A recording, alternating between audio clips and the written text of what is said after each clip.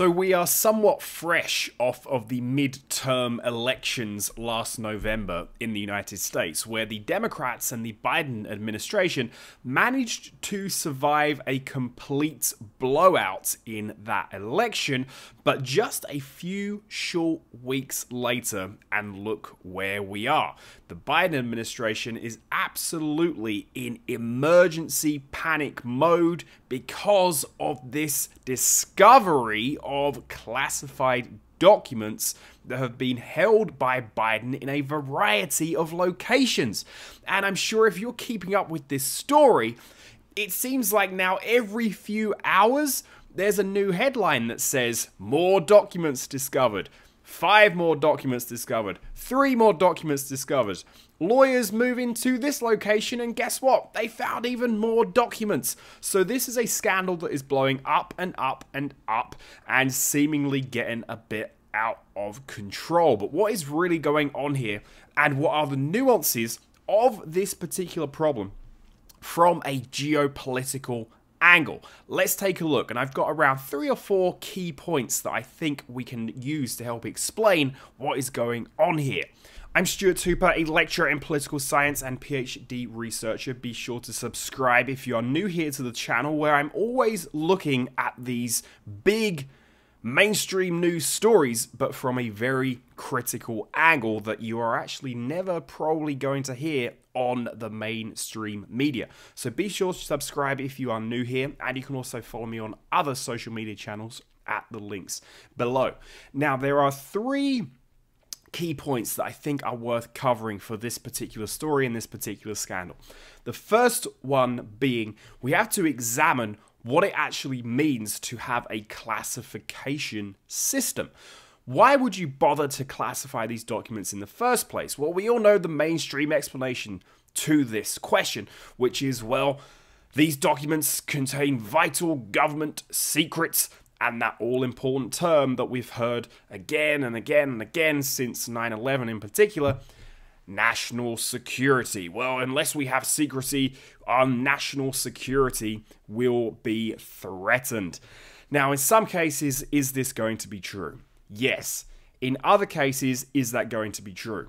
Absolutely not. And in fact, what we see is the classification system on government documents, not just in the United States, but in lots of Western democracies, being used and abused really to cover up things that go on involving our governments that they really don't want us to know about.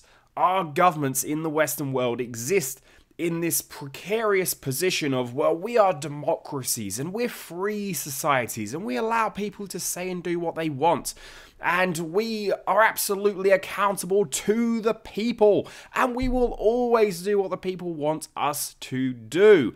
Well, as we have seen now in many, many, many scandals, the biggest one I think that's worth mentioning, which I just had an academic journal article published on this late last year, back in November Look at WikiLeaks. Look at Julian Assange.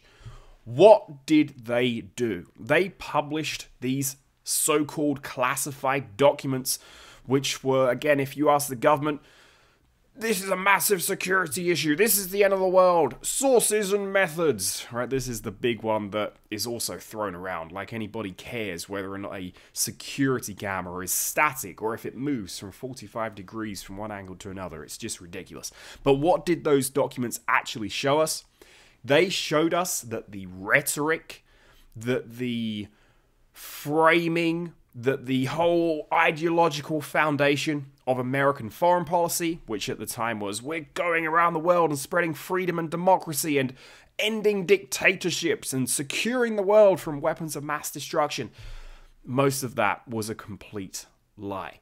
Most of that was built on a set of fabrications, um, really a tissue of lies, which didn't take too much to rip apart. And when you look behind that, you see the reality of what American foreign policy really is, which is death and destruction, and ultimately the death and destruction of lots of civilians. And the big case that WikiLeaks exposed was the collateral murder event, which, if you haven't heard about, There's a lecture video on my channel on the front page um, where I talk about that in detail and this whole instance.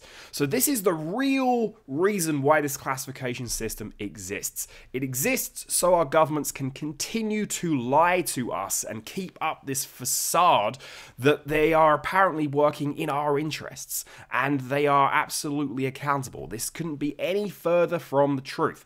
And this brings us to the second main point for Biden and these classified documents. If you are in the US military, and you somehow leak or take home or access even classified materials through some unsecured source, maybe your own personal phone as opposed to a government issued laptop, this sort of thing, guess what happens to your military career? Guess what happens to all of the many benefits that you would have gotten as a member of the US military? We're talking free healthcare, free university education. All of that goes away immediately. Dishonorably discharged, that's the end of your career, that's the end of your benefits. It's over for you, the average Joe on the street who joined the US military. Maybe made an honest mistake, but that's it. We now have three big time instances of where political elites have done this Hillary Clinton, Donald Trump, Joe Biden, Let's be equal opportunity critics here. And what's happened to these people?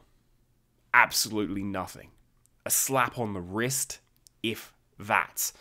Now, this helps, I believe, to produce an idea that the United States has a two tiered justice system. Are you part of the in crowd or are you not? Are you big and important in politics, in economics, in the military, in media, even? Are you big in any of these realms? No big deal. We'll let you off the hook. Maybe, like I said, a slap on the wrist, but no real problems for you. Continue living your life, continue being a millionaire, continue having all of this power and influence. But you, the average Joe on the street, the average member of the military, the average journalist, Julian Assange, if you get caught with any of this stuff, you're going to be thrown in a cell for years. You're going to be you're going to be extradited to the United States, and you are going to never see the light of day again. This is not the image that a democracy wants to be promoting, and that is absolutely what is going on with these continued scandals. Now, last point, and this is to come down to, again, what just happened with the midterm elections. We now have a Republican House. What can the House do? Begin impeachment hearings. I think this is a matter of potentially hours, days, maybe weeks until the Republican House moves towards impeachment of Joe Biden on this issue. Is this going to achieve anything? No. Is Biden going to be convicted in the Senate? No. Is this going to completely tie up any progress that the American government could actually make on any other issue that actually matters? Yes. This is going to grind the government to a halt once again on a scandal which is really a non issue for the most part.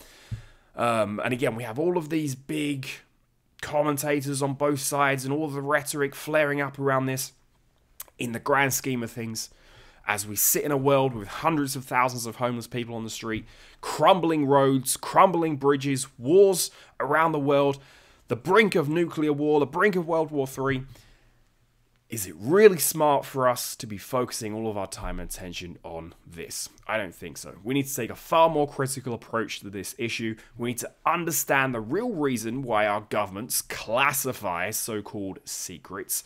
Um, this is the reality of this particular issue.